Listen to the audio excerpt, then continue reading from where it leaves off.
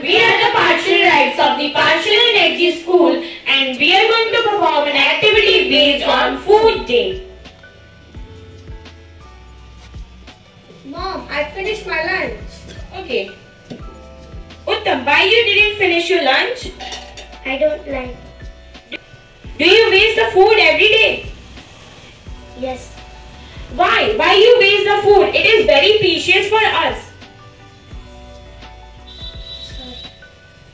You don't have to waste food because in our school we learn we don't have to waste food, okay? Yes.